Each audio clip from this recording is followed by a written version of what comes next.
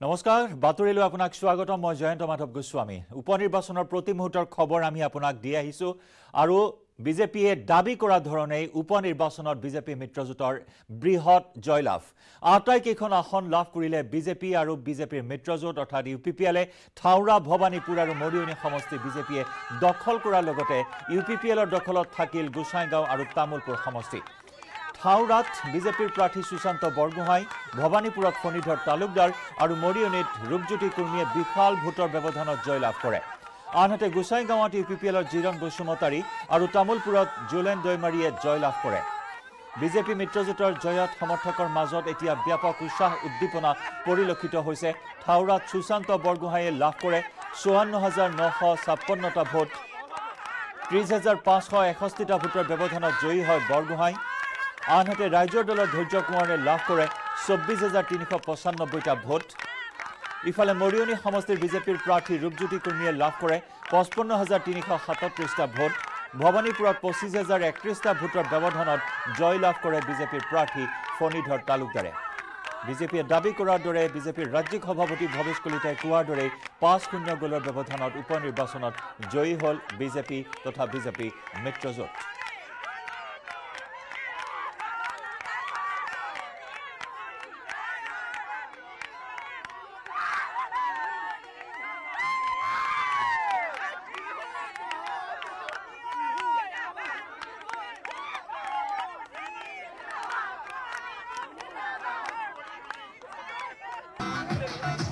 ফলাফল সন্মুখলৈ অহাৰ পিছতে এনেদৰে উৎসাহ উদ্দীপনা পৰিলক্ষিত হৈছে সমৰ্থকসকলৰ মাজত।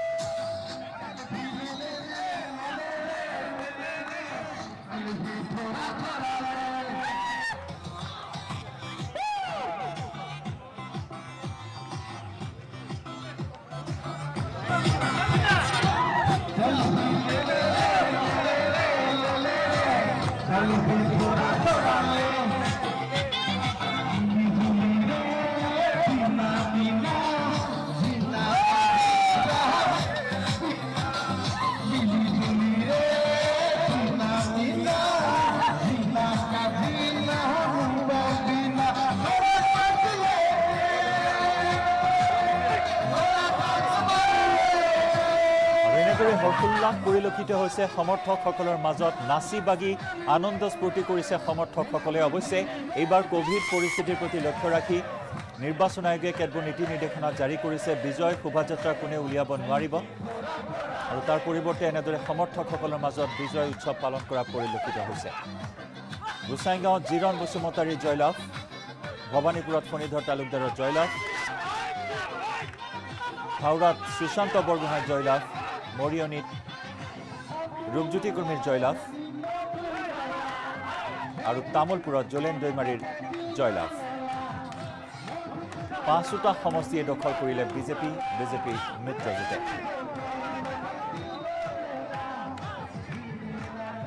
মুখ্যমন্ত্ৰী ডক্টৰ হিমন্ত বিশ্ব শৰ্মাৰ সন্মানৰ যুঁজ আছিল এই তিনিটা সমষ্টি বিশেষকৈ হাওৰা মৰিয়নি আৰু ভৱানীপুৰ।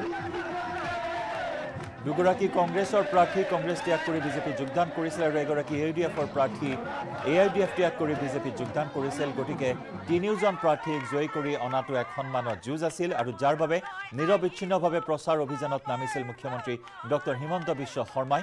আৰু যেন অৱধাৰিতভাৱে এই তিনিওটা সমষ্টিয়ে দখল কৰিলে বিজেপিয়ে সমান্তৰালকৈ গোসাইগাঁও আৰু তামোলপুৰো ইউ পি পি এলে দখল কৰিলে। গোসাইগাঁও সমষ্টিত তিনিটাকৈ কাৰ্যকাল বি পি এফৰ দখলত আছিল। হাগ্ৰামা মহিলাৰীৰো সন্মানৰ যুঁজ জড়িত হৈ আছিল গোসাইগাঁও সমষ্টিত কিন্তু ইউ পি পি এলে বৃহৎ ভোটৰ ব্যৱধানত জয়লাভ কৰিবলৈ সক্ষম হ'ল গোসাইগাঁও সমষ্টিটো।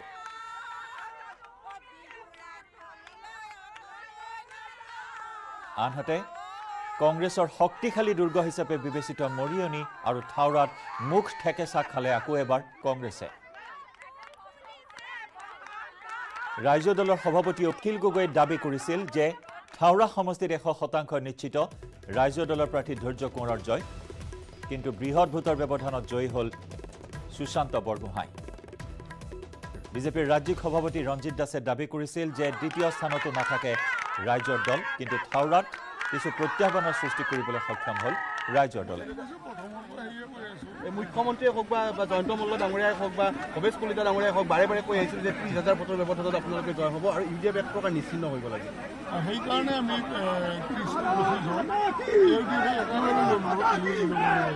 পাঁচ মাহৰ ভিতৰত দুবাৰকৈ জয়ী হৈছে দাদা অনুভৱ কি? অনুভৱটো মই প্ৰথমতে দিছোঁ। দাদা আপুনি প্ৰথমতে কৈছিলে যে বেটাৰমেণ্ট দিছিলে এইবাৰ। এইটো সেইকাৰণে তিনি হাজাৰ ঠাইত পঁচিছ হাজাৰ হ'ল। হাজাৰ বেছি হ'ল সমষ্টিবাসী ৰাইজক কি বেটাৰমেণ্টত ষ্টেণ্ড কৰাটো বহুত ডাঙৰ কথা কি- কি আহ্বান জনাব সমষ্টিবাসী দুটা পাই আছে পাই আছে সমষ্টিবাসী চলি আছে নেকি যে আমাক উন্নয়ন চলি লাগে আছে নেকি আমাক চাৰিওফালে উন্নয়ন আমাৰ মনোৰঞ্জন। ৰাইজন আমাৰ ভৱানীপুৰ সমষ্টিত কিন্তু এটা উল্লেখ? উল্লেখজনীয় ঘটনা হ'ল যে সংখ্যালঘু সম্প্ৰদায়ৰ লোকে বিজেপিক ভোট দিছে এইবাৰ সংখ্যালঘু সম্প্ৰদায়ৰ লোকে আমাক অলপো ভোট নিদিলে। সেইকাৰণে আমি এইবাৰ বুজাই দিলোঁ যে আমি সংখ্যাগুৰুৱে এই চিটটো আনিব পাৰিম। আমাৰ সংখ্যাগুৰুৰ পৰা এই চিটটো নিব নোৱাৰে এশ শতাংশই মই যি পৰিকল্পনাৰে যোগদান কৰিছিলোঁ আৰু সমষ্টিবাসীৰ কথা চিন্তা কৰিহে যোগদান কৰিছিলোঁ। মই ব্যক্তিগত কথা এবাৰো ভবা নাছিলোঁ যে মোৰ কি হ'ব। ব্যক্তিগত জীৱনলৈ কিছু আঁচনি এটা ভাৱ আহিছিলে যেন হাৰিয়ে যাম নেকি বা ৰাইজে মোক একচেপ্ট নকৰিব নেকি তেনেকুৱা বহুত ভাৱ আহিছিলে। কিন্তু যেতিয়া আজি ৰিজাল্ট দিলে আৰু এই বৃহৎ ব্যৱধানে জয়ে মোক এটাই উৎসাহিত কৰিছে যে ৰাইজ আমাৰ পক্ষত আছে ভাৰতীয় জনতা পাৰ্টী দলৰ লগত আছে আৰু অনাগত দিনত থাওৰা সমষ্টি উন্নয়নৰ কাৰণে কাম কৰিব লাগে তেওঁলোকে এই বৃহৎ ভোটদান তেখেতসকলে দিছে। কংগ্ৰেছ দলে আভ্যন্তৰীণ এটা বিশ্লেষণ কৰা উচিত আৰু তাৰ মাজত নিশ্চয় কিবা এটা ৰাস্তা বিচাৰি পাব যি ৰাস্তাই গ'লে মানে হয়তো ভৱিষ্যতে কংগ্ৰেছ দলটো শক্তিশালী সম্ভৱপৰ হ'ব। খুব ভাল লাগিল। আমাৰ প্ৰাৰ্থী শনিধৰ তালুকদাৰ ডাঙৰীয়া নিৰ্বাচিত হ'ল ভৱানীপুৰ সমষ্টিৰ পৰা। মই তাৰ বাবে ভৱানীপুৰবাসী ৰাইজক শ্ৰদ্ধাৰ ভোটাৰ ৰাইজসকলক ধন্যবাদ জ্ঞাপন কৰিছোঁ। বজালীবাসী ৰাইজক ধন্যবাদ জ্ঞাপন কৰিছোঁ। এয়া ফণীদালৰ বিজয় নহয় সমগ্ৰ অসমৰ বিজয় অসমীয়া জাতি সত্তাৰ বিজয়। নিশ্চিতভাৱে এইখিনি কাম কৰা হ'ব। সেইখিনি কথা আমাক উনিকাই দিব নালাগে। ইতিমধ্যে মাননীয় মুখ্যমন্ত্ৰী মহোদয় অৱগত। ভৱানীপুৰবাসী ৰাইজৰ যিখিনি কাম আছে আমাৰ দায়িত্ব আমাৰ চৰকাৰৰ দায়িত্ব আমাৰ দলৰ দায়িত্ব। বিজয় উৎসৱ কেনেদৰে পালিত হ'ব? চাওক ক'ভিডৰ কাৰণে আমি অলপ ক'ভিড প্ৰট'কল মেইনটেইন কৰি এতিয়া আমি পাৰ্টীৰ ওচৰলৈ গৈ আছোঁ। আমাৰ ৰাজ্যিক কাৰ্যালয়ত মাননীয় মুখ্যমন্ত্ৰী মহোদয় মই আমাৰ দলীয় জ্যেষ্ঠ নেতৃত্বসকল আমি উপস্থিত হৈ তাত আমি এডভান্স দীপাৱলীৰ শুভেচ্ছা দিম ৰাইজক। এবাৰ শেষ বাক্য কংগ্ৰেছক কি মন্তব্য হয় ভূপেন বৰা তেওঁলোকে অলপ শিকিব লাগিব পঁচিছ বছৰমান ৱেইট কৰিব লাগিব মই আজি ক'লোঁ আকৌ। আৰু এইখিনি মুহূৰ্তত আমি শিৱসাগৰলৈ যাম। শিৱসাগৰৰ চৰকাৰী উচ্চতৰ বহুমুখী বিদ্যালয়ত আছে আমাৰ সতীৰ্থ সাংবাদিক প্ৰদীপ গগৈ। প্ৰদীপ আপোনাৰ সৈতে সংযুক্ত হৈছোঁ আৰু অৱশেষত থাওৰা সমষ্টিত বৃহৎ ভোটৰ ব্যৱধানত জয়লাভ কৰিলে আহ, সুশান্ত বৰগোহাঁয়ে দ্বিতীয় স্থানত থাকিল ধৈৰ্য কোঁৱৰ। কিন্তু এইখিনি মুহূৰ্তত জানিব বিচাৰিম কংগ্ৰেছৰ প্ৰাৰ্থীগৰাকীয়ে কিমান ভোট লাভ কৰিলে যিহেতু দাবী কৰিছিল যে কংগ্ৰেছে থাওৰা সমষ্টি কংগ্ৰেছে দখল কৰিব। আনহাতে অখিল গগৈয়ে দাবী কৰিছিল যে থাওৰা কৃষক থাওৰা ৰাইজৰ দলে দাবী কৰিব। কিন্তু অৱশেষত পুনৰবাৰ বিজয়ৰ হাঁহি মাৰিলে সুশান্ত বৰগোহাঁয়ে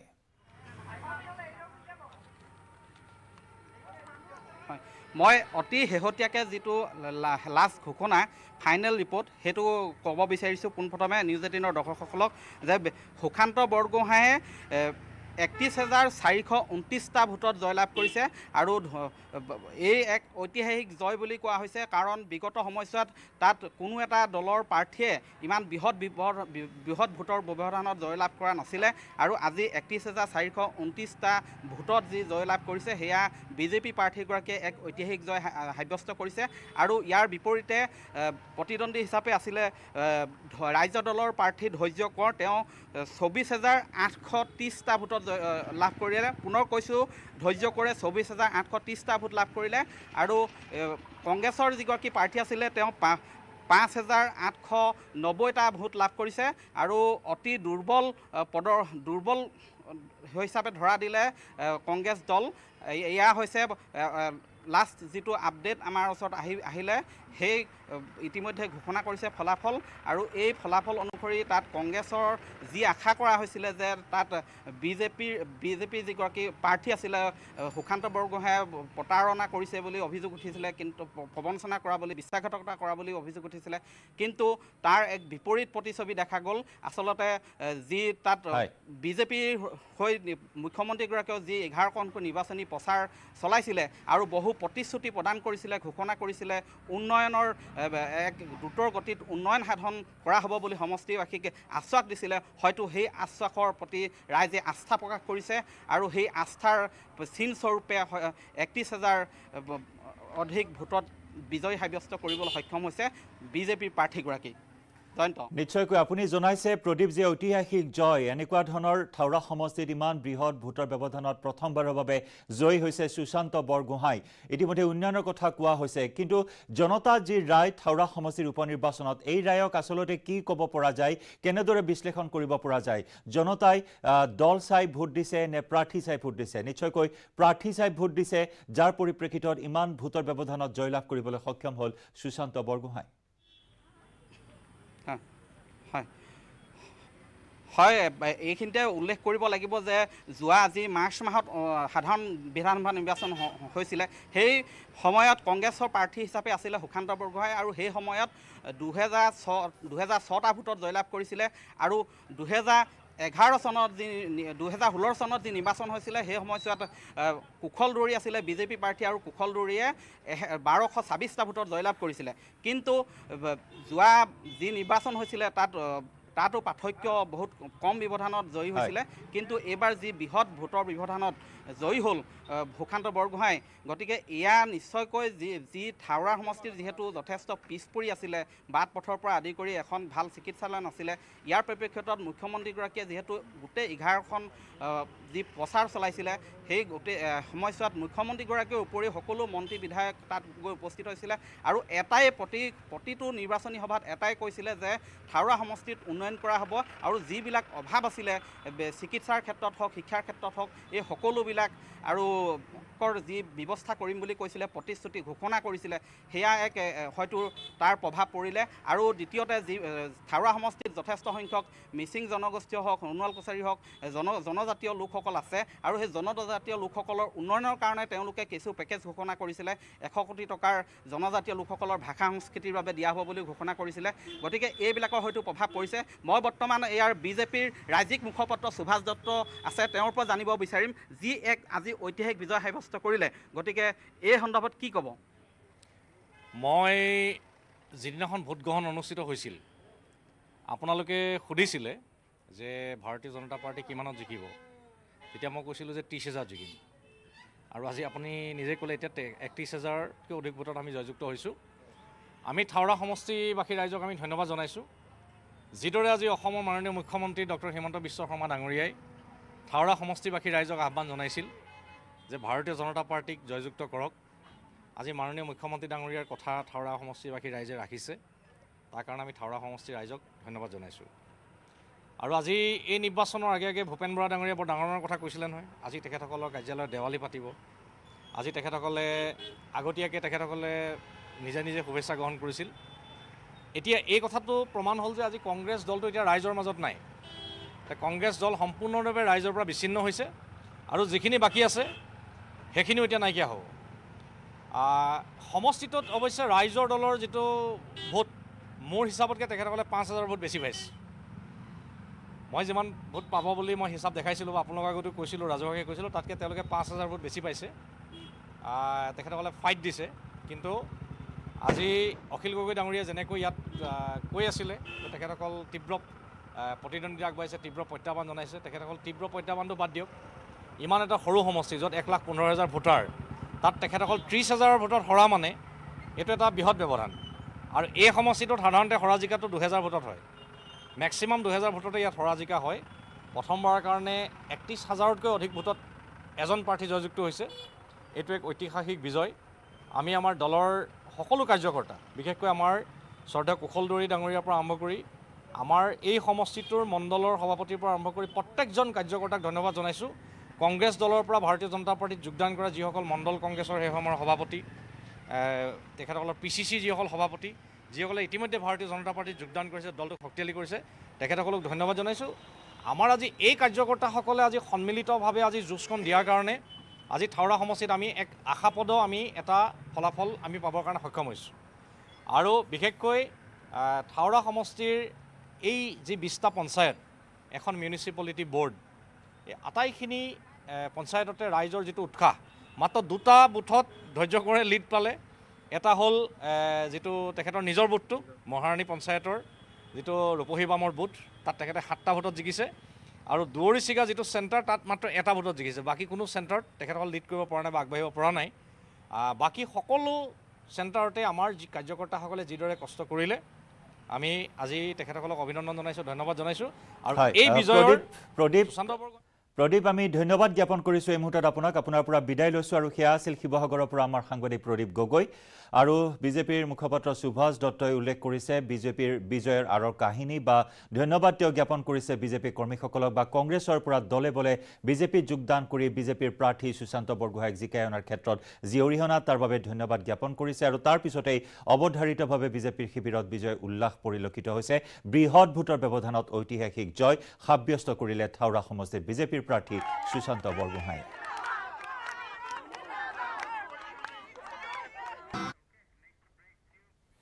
আমি খবৰৰ ধাৰা অব্যাহত ৰাখিম লৈছোঁ এটি বাণিজ্যিক বিৰতি ব্যৱহাৰ কৰোঁ। আটাইতকৈ সবল আৰু সতেজ চিমেণ্ট চুৰিয়া চিমেণ্ট।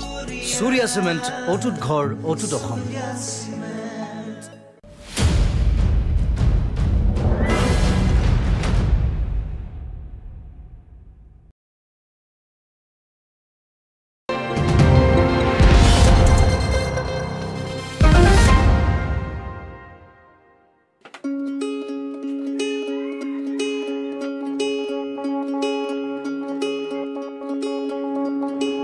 পোহৰৰ উৎসৱ দীপান্বিতালৈ সাজু সকলো।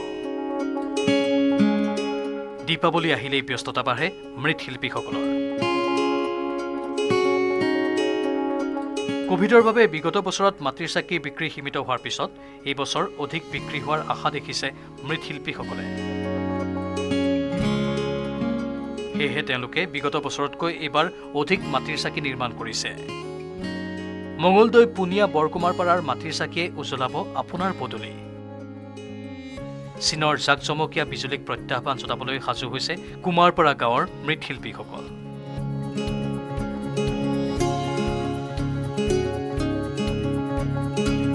শিল্পীৰ কোমল হাতৰ পৰশত প্ৰাণ পাই উঠিছে সৰু ডাঙৰ আকাৰৰ বিভিন্ন চাকি। ককাক আজু ককাকৰ দিনৰে চাকত নিৰ্মাণ কৰিছে এইসমূহ সামগ্ৰী।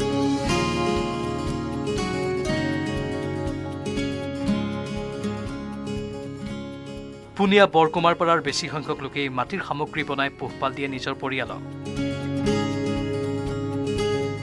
দীপাৱলী অহাৰ লগে লগে প্ৰত্যেকটো পৰিয়ালৰে জীয়ৰী বোৱাৰী বুঢ়া মেধা সকলো লাগি পৰে চাকি বনোৱা কাৰ্যত। মই উপস্থিত আছোঁ মঙলদৈ বৰকুমাৰপাৰা গাঁৱত আৰু এইখন গাঁৱৰ প্ৰতিঘৰ পৰিয়ালেই মাটিৰ চাকি নিৰ্মাণ কৰে আৰু বজাৰত বিক্ৰী কৰে আৰু ইতিমধ্যে মাটিৰ চাকিসমূহ নিৰ্মাণ কৰাত ব্যস্ত হৈ পৰিছে। যিহেতু মাটিৰ চাকিসমূহ নিৰ্মাণ কৰাৰ পিছত তেওঁলোকে ৰ'দত শুকুৱাই শুকুৱাই আৰু ইয়াৰ পিছত তেওঁলোকে যি জুইত পোৰা হ'ব আৰু এই যি কাৰ্য এই কাৰ্য কৰিবৰ কাৰণে ইতিমধ্যে সাজু কৰিছে। এই যি ঘৰখন তেওঁলোকে কিন্তু প্ৰতি বছৰে প্ৰায় লক্ষাধিক মাটিৰ চাকি সাজু কৰি তোলে আৰু এই বছৰ তেওঁলোকে মাটিৰ চাকিসমূহ সাজু কৰিছে। বজাৰত বিক্ৰী কৰিব আন বছৰৰ দৰে এই বছৰ কিন্তু এই বছৰ যিহেতু দীপাৱলী উদযাপন কৰিব সকলোৱে আৰু তাৰ কাৰণে অধিক তেওঁলোকে মাটিৰ চাকি নিৰ্মাণ কৰিছে। আমি আইতাগৰাকীৰ ওচৰলৈকে যাম কথা পাতি যত্ন কৰিম এবাৰ মাটিৰ চাকি? অঁ এইবাৰ আমাৰ বেছিকৈ বনাইছোঁ বাবা। এই কেইবছৰ হেৰি হৈ খোলা হোৱা নাছিল নে? হেৰি লকডাউন হৈ আছে এইবাৰ অলপ বেছিকৈ বনাইছোঁ আৰু। মাটি চাকিৰ বাহিৰে ডাঙৰ ওখ গছা আকৌ ধূনা দিয়া এইবিলাক বনাই আছোঁ? বনোৱা গৈছে তিনি চাৰি হাজাৰমান। আগতকৈ বেছি অলপমান। মনটো ভাল লাগছে। কাৰণ যোৱা এই দুই বছৰতে বহুত তাৰমানে এই ক'ভিডৰ কাৰণে তাৰমানে বন্ধ হৈ থাকিল। এই বছৰ চৰকাৰে খোলা দিছে। এই সময়ৰ কাৰণে ৰখি থাকোঁ। কাৰণ এটা প্ৰত্যেকৰে এটা ছিজন। প্ৰত্যেকে চাকি বন্তি কিনি নিয়ে। গতিকে এই মানে ছিজনটোলৈকে আমি ৰখি থাকোঁ। প্ৰতি বছৰে প্ৰায় দহ পোন্ধৰ হাজাৰ চাকি বনায়। এইবছৰ এইবাৰ মোটামুটি চল্লিছ পঞ্চাছ হাজাৰমান বনাইছোঁ এইবাৰ অলপ বেছিকৈ বনাইছোঁ খোলা দিয়াৰ কাৰণে মনটো খুব ভাল লাগিছিল তাৰমানে এইবিলাক মঙলৈত বিক্ৰী হ'ব এক নম্বৰতে মঙলৈত দুই নম্বৰতে বংলাগড় আৰু তিনি নম্বৰত ঘৰৰ পৰা বেপাৰীবিলাকে লৈ যায়।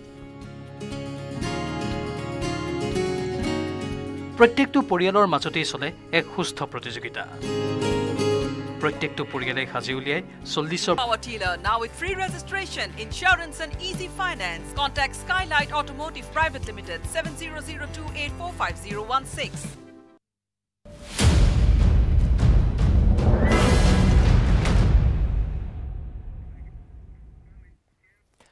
কৰনা মহামাৰীৰ পৰা ৰক্ষা পাবলৈ একমাত্ৰ ৰামবান হ'ল টীকাকৰণ। আৰু এইকাৰণেই চৰকাৰে টীকাকৰণৰ প্ৰতি গুৰুত্ব প্ৰদান কৰি আহিছে। মধ্যপ্ৰদেশৰ কেইবাখনো জিলাত এশ শতাংশ টীকাকৰণৰ লক্ষ্যত উপনীত হোৱাৰ পথত। হৌচাংগাবাদ জিলাও তাৰেই এক অন্যতম। কিন্তু লক্ষ্যত উপনীত হোৱাৰ অন্তৰালত থকা সংঘৰ্ষ কেনেকুৱা আছিল? চাওঁ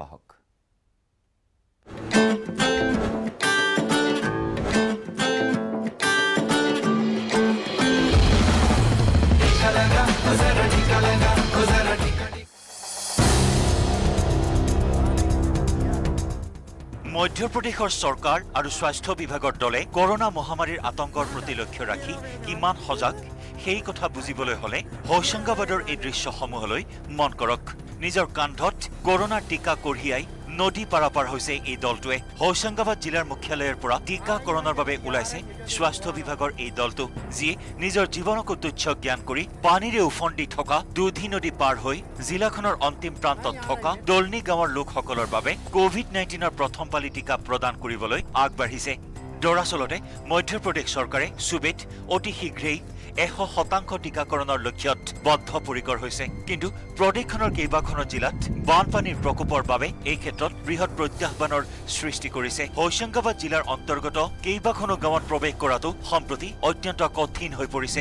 কিন্তু জিলা প্ৰশাসন আৰু স্বাস্থ্য বিভাগৰ দলে বহু প্ৰত্যাহ্বান নেওচি এশ শতাংশ টীকাকৰণৰ লক্ষ্যত উপনীত হবলৈ দিন ৰাতি একাকাৰ কৰি টীকাকৰণৰ কামত ব্ৰতী হৈছে।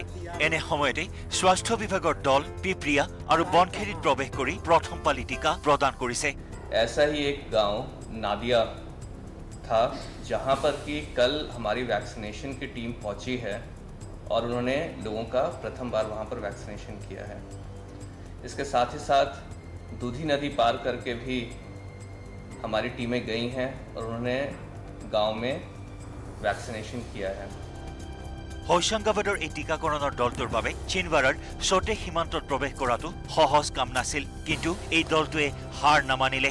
বহু কিলোমিটাৰ খোজকাঢ়ি গৈ হলেও দলটোৱে দুখনকৈ নদী পাৰ হৈ লক্ষ্যত উপনীত হৈছে যাৰ বাবে জিলা প্ৰশাসনেও এই দলটোক লৈ গৌৰৱান্বিত হৈ উঠিছে। আশা কৰা হৈছে ত্যাগ আৰু সমৰ্পণৰ এই ছবিৰ যাত্ৰা অব্যাহত থাকিব আৰু দেশে এশ শতাংশ টীকাকৰণৰ লক্ষ্যত উপনীত হবলৈ সক্ষম হ'ব। হৌচংগাবাদৰ পৰা Shailendra Kaurav News Eighteen Network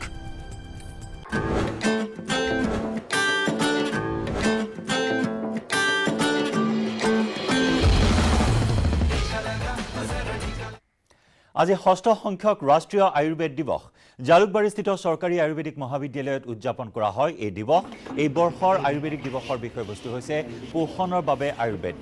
Ayurveda দিৱস উদযাপন অনুষ্ঠানত স্বাস্থ্যমন্ত্ৰী কেশৱ মহন্ত বিধায়ক ৰমেন্দ্ৰ নাৰায়ণ কলিতা ৰাজ্যিক আয়ুষ সঞ্চালকালয়ৰ সঞ্চালক ডক্টৰ লক্ষ্মণ এছ এৰ অংশগ্ৰহণ কৰে। অনুষ্ঠানৰ লগত সংগতি ৰাখি স্বৰ্ণপ্ৰসাদ শিবিৰ মুকলি কৰে মন্ত্ৰী কেশৱ মহন্তই। স্বৰ্ণপ্ৰাশন শিবিৰ মুকলি কৰে মন্ত্ৰী কেশৱ মহন্তই। মহাবিদ্যালয়খনৰ শিক্ষক শিক্ষাৰ্থীৰ প্ৰচেষ্টাত আয়ুৰ্বেদ খাদ্য মেলাৰো আয়োজন কৰা হয়। নিজৰ ভাষণত কেন্দ্ৰীয় মন্ত্ৰী সৰ্বানন্দ সোণোৱালক উচ্চ প্ৰশংসা কৰে মন্ত্ৰী কেশৱ মহন্তই। আজি ৰাষ্ট্ৰীয় আয়ুৰ্বেদিক ডে আয়ুৰ্বেদিক মহাবিদ্যালয়ত এই দিৱসৰ আমি উদযাপন কৰিছোঁ। এই মুহূৰ্তত আমি আয়ুৰ্বেদৰ দিশত কিছু কথা চৰকাৰে সিদ্ধান্ত লৈছে যে আমি এই আয়ুৰ্বেদিক কলেজক যি চেণ্টাৰ অফ এক্সিলেঞ্চৰ কাৰণে নিৰ্মাণ কৰিবলৈ বিচাৰিছোঁ এইটো ইয়াৰ এইবাৰ প্লেটিনিয়াম জুবুলি আমি পাইছোঁ। গতিকে এই কলেজক আমি ইয়াৰ লগত পঞ্চকৰ্মা যোগ হ'ব ইয়াৰ লগত ফাৰ্মাটিকেলছ যোগ হ'ব। তাৰোপৰি গোটেই মহাবিদ্যালয়খনৰ সামগ্ৰিকভাৱে যিখিনি প্ৰয়োজন আছে সকলোখিনি নিৰ্মাণ কৰি আমি এই অসমৰ এই পুৰণি যিটো অনুষ্ঠান প্ৰথম অনুষ্ঠান এই অনুষ্ঠানটো এইবাৰ আমি প্লেটিনাম জুবুলিত ইয়াক এক বিশেষ অনুষ্ঠান হিচাপে আমি নিৰ্মাণ কৰিম। ইয়াত আয়ুৰ্বেদিক হস্পিটেল হ'ব আমি চিন্তা কৰি আছোঁ আমাৰ যিবিলাক পি এইচ চি আছে তাত য'ত মাটি আছে তাৰ লগতে আয়ুষ আয়ুৰ্বেদিক হস্পিটেলো আমি পৰ্যায়ক্ৰমে নিৰ্মাণ কৰিম। আমাৰ যিবিলাক ছাব চেণ্টাৰ আছে তাতো আমি সম্প্ৰসাৰণ কৰিবলৈ কিছু আঁচনি লৈছোঁ। টেকন'লজি ষ্টাইল সকলো দিশতে দুৰ্দান্ত Jio' World Drive premium shopping mall উদ্বোধন কৰিলে ৰিলায়েন্সে আৰু ইয়াৰ জৰিয়তে বিশ্বমানৰ সেৱা গ্ৰাহকক দিবলৈ বদ্ধপৰিকৰ ৰিলায়েন্স সংস্থা। ভাৰতীয় লোকে যাতে দেশৰ ভিতৰতে আন্তৰ্জাতিক মানৰ শ্বপিং মল লাভ কৰে সেই উদ্দেশ্য এই মল খোলা হৈছে। এণ্টাৰটেইনমেণ্ট খোৱা খাদ্য ৰিটেইল সংস্কৃতি সকলো আছে ইয়াত। এই ধৰণৰ অত্যাধুনিক শ্বপিং মল প্ৰথমবাৰত প্ৰথমবাৰৰ বাবে ভাৰতত। মুম্বাইৰ বাণিজ্যিক কেন্দ্ৰ বাৰ্ণা কুৰ্লা বান্দ্ৰা কুৰ্লা কমপ্লেক্স সম্প্ৰতি উদ্বোধন হৈছিল জিঅ' ৱৰ্ল্ড ড্ৰাইভৰ। সোতৰ দশমিক পাঁচ একৰ মাটিত নিৰ্মাণ কৰা হৈছে এই premium retail destination. Reliance brands লিমিটেডৰ চিইঅ দৰ্শন মেহতাই জনাইছিল যে বান্দ্ৰা কুৰ্লা কমপ্লেক্স নিৰ্মাণ কৰা জিঅ' ৱৰ্ল্ড ড্ৰাইভ মুম্বাইৰ ছ'চিয়েল চেণ্টাৰৰ নতুন ভৰকেন্দ্ৰ বুলি ক'ব পাৰি। সমগ্ৰ বিশ্বৰ বিভিন্ন ৰিটেইল সংস্থাৰ আউটলেট আছে তাত। জিঅ' ড্ৰাইভ ইন থিয়েটাৰো এক নতুন আকৰ্ষণ হ'বলৈ গৈ আছে। আৰু ইয়াৰে সৈতে সময় হ'ল বাতৰিৰ পৰা বিদায় লোৱাৰ। নমস্কাৰ।